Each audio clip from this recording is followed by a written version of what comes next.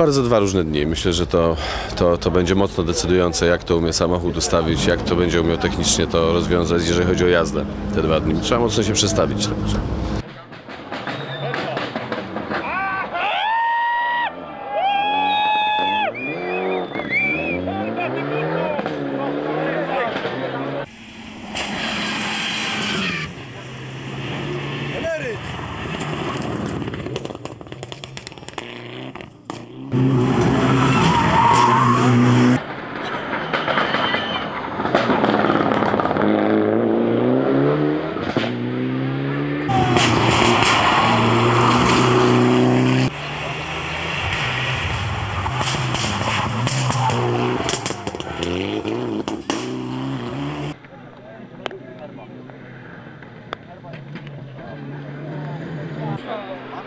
Kurwa, wybiło go.